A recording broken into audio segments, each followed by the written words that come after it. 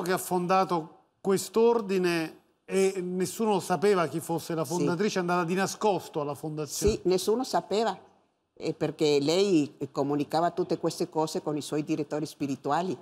Il giorno della nostra fondazione, il 3 maggio del 1897, sono stati invitati come padrini della fondazione eh, Concita e Pancio, così chiamavano Francisco, si chiamava il marito, ma in Messico e Francisco si chiamano Pancho. E, e sono stati lì nella, nella, fondazione, ma nessuno dei presenti sapeva che lei era la, la, la ispiratrice, la fondatrice. Il marito lo sapeva? No. I mariti sono sempre gli ultimi a essere...